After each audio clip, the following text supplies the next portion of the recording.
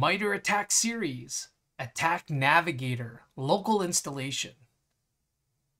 All right, I'm going to install this on my Kali Linux box. I want a local instance of Navigator that I can use offline when I need it, as I need it. So there's a couple things. There is a config JSON that comes with the installation.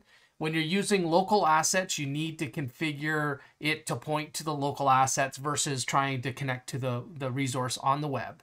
So there's some modifications that I've done here and I've actually copied this config file out. So whenever I dynamically install this on any asset, I don't have to worry about it.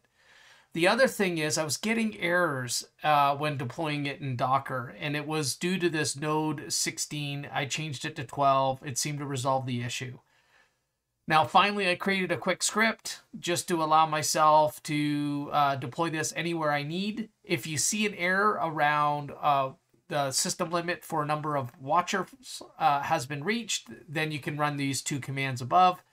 And then I go ahead and pull the uh, clone repository or clone the GitHub uh, repository for ATT&CK Navigator, pull down the assets that I require, Enterprise, Mobile, and Pre-Attack. And then we walk through uh, just a comment here around making sure that you do uh, modify that config JSON file as I shown.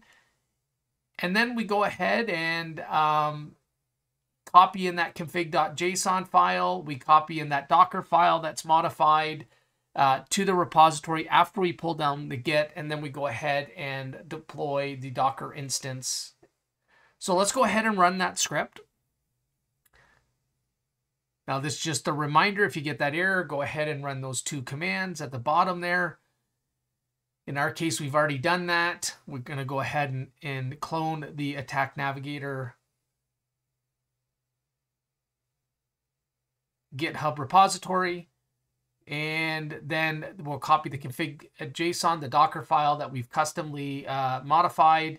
And it's going to go ahead and start building that Docker instance.